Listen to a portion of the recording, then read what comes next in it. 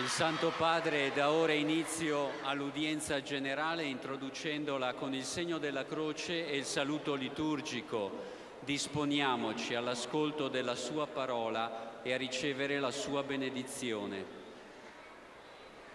In nome del Padre, del Figlio e dello Spirito Santo. Amen.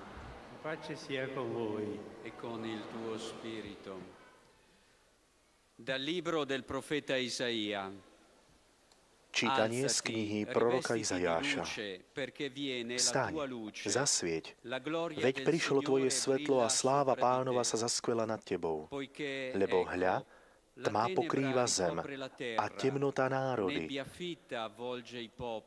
Ale nad Tebou sa zaskvel Pán a Jeho sláva sa zjavila nad Tebou. Parola di Dio. Ďalší, drahí bratia a sestry, dobrý deň.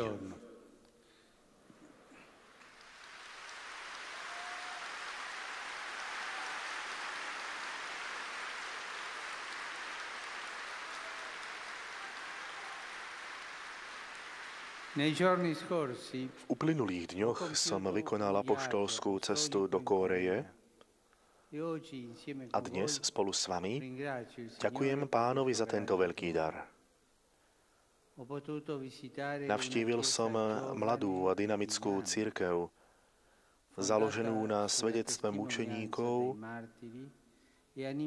a povzbudzovanou misijným duchom, a to v krajine, kde sa stretávajú starobilé azijské kultúry a odveká novosť Evanielia. Oboje.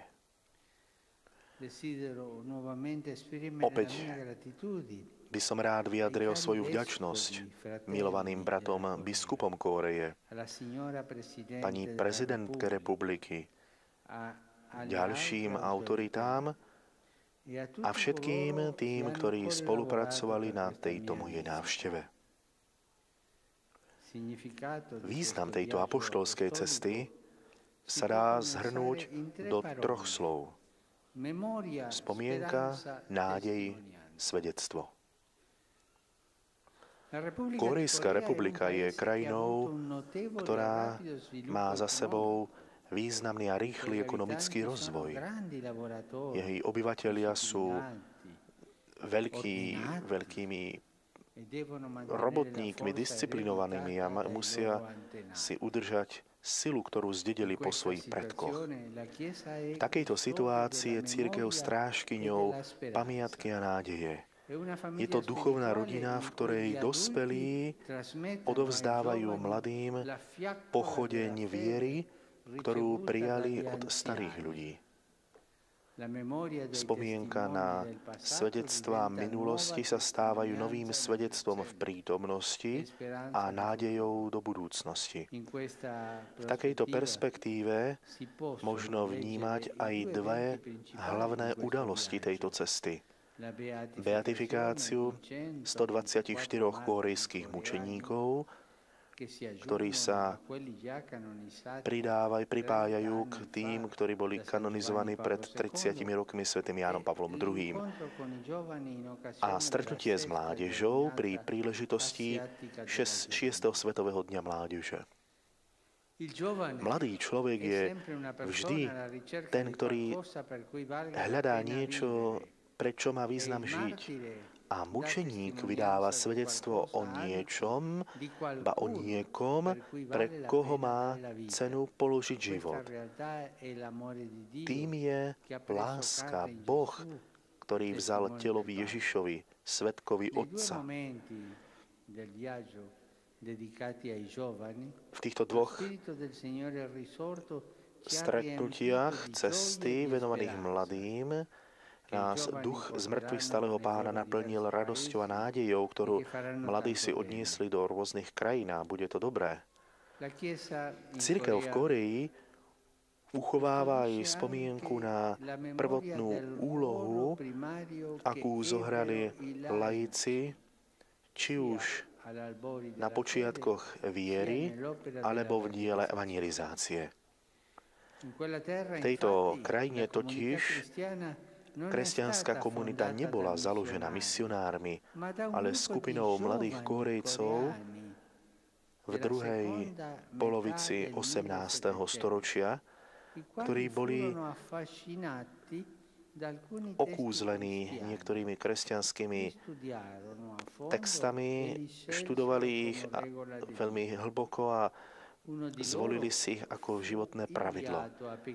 Jeden z nich bol poslaný do Pekingu, aby tam prijal krst a on sám potom pokrstil svojich druhov. Z tohoto prvého prvotného jadra sa rozvinula veľká komunita, ktorá od samotného počiatku a potom asi ďalších 100 rokov trpela v dôsledku silného prenasledovania s tisíckami mučeníkov. Takže církev v Kóreji je založená na viere, na misijnom úsilí a na mučeníctve veriacich lajkov. Prví korejskí kresťania si ako vzor vzali prvotnú apoštolskú komunitu v Jeruzaleme tým, že žili vzájomne v bratskej láske, ktorá prekonáva akékoľvek sociálne rozdiely. A tak som povzbudil dnešných kresťanov, aby boli veľkorysí v zdieľaní sa s tými najchudobnejšími a ľuďmi na okraji, a to v duchu 25. kapitoly Matúša Matúšovo evanielia, všetko, čo ste urobili jednému z tých mojich najposlednejších bratov, mne ste to urobili. Milí bratia a sestry, v dejinách viery v Kóreji vidíme, ako Kristus neruší kultúry. Kristus neruší kultúry nepodceňuje putovanie národov, ktoré v priebehu stáročia tisícročí hľadali pravdu a žili v láske k Bohu a k blížnemu.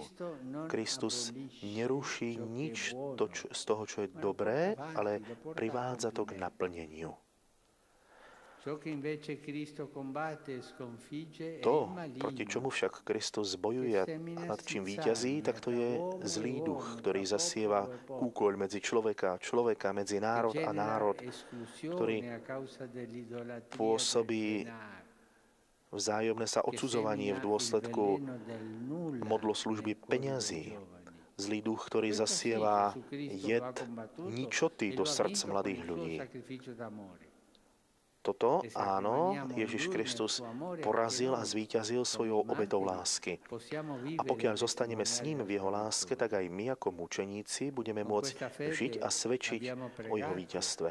S takouto vierou sme sa modlili a aj teraz sa modlíme, aby všetci synovi a céry korejskej krajiny, korejskej zeme, ktorí trpia v dôsledku vojen a rozdelenia, mohli sa vydať na cestu bratstva, a zmierenia.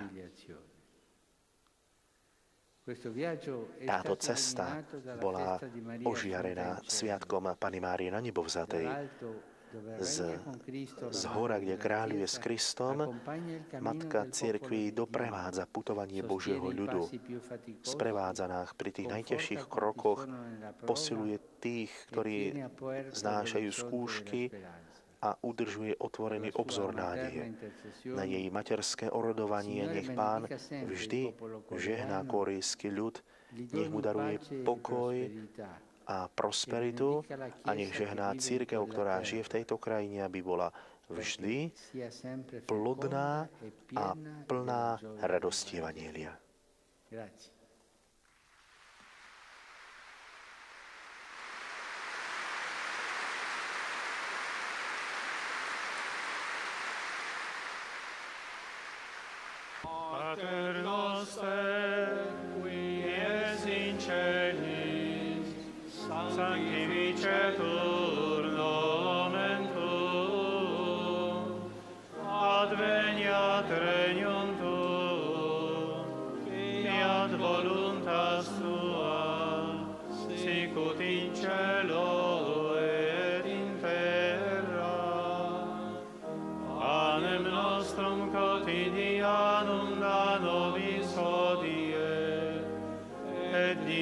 te nobis de vita nostra, sicut et nos dimittimus de vitoribus nostris, et ne nos inducas in tentationem,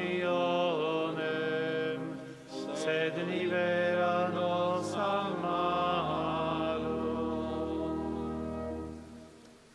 Dominus obiscum, et cum spiritu tuo. Sit nomen Domini benedictum, ex hoc nunc et usque in saeculum. Adiutorium nostrum in nomine Domini, qui feci celum et terra. Benedicat vos omnipotens Deus, Pater, et Filius, et Spiritus Sanctus. Amen. Amen.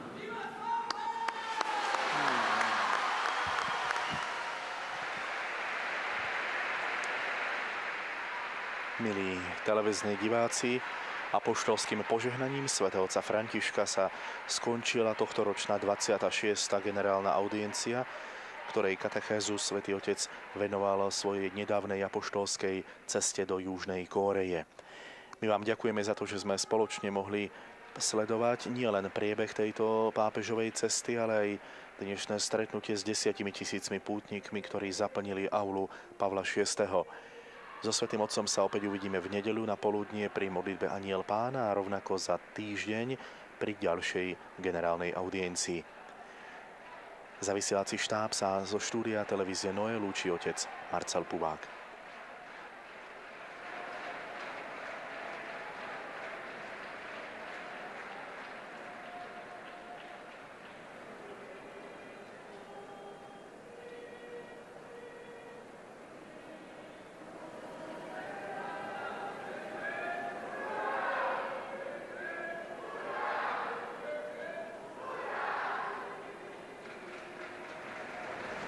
cabecita